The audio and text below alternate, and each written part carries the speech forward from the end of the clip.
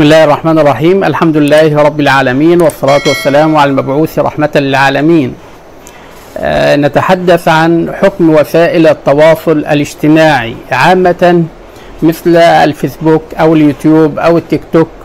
وهل الأموال التي تجمع من هذه التطبيقات حلال أم حرام؟ هنا لابد أن نشير إلى أن هذه التطبيقات ما هي إلا وسائل أو أدوات فالحكم عليها بالحل أو بالتحريم يتوقف على ما يقدم من خلالها فإن كان ما يقدم هادفا ويحث على الأخلاق الطيبة يساعد على انتشار الفضيلة ويقدم معلومة دينية أو دنيوية مفيدة فلا شك في جوازه.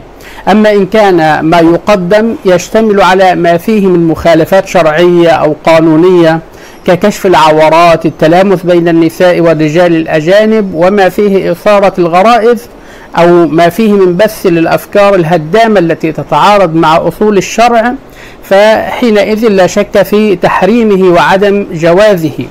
وفي الحقيقة أنا لست من أنصار ترك هذه المنصات وهجرها لأصحاب الشهوات والضلالات بل على النقيض من ذلك إني أدعو أصحاب الفكر السوي والدين الوسطي إلى سد ثغرات هذه التطبيقات وجعلها منصات للتعريف بالدين الإسلامي وسماحته وبيان أحكامه ففي هذا يكون الخير. هذا والله سبحانه وتعالى أعلى وأعلم. وبهذا نكون قد وصلنا لختام حلقة اليوم.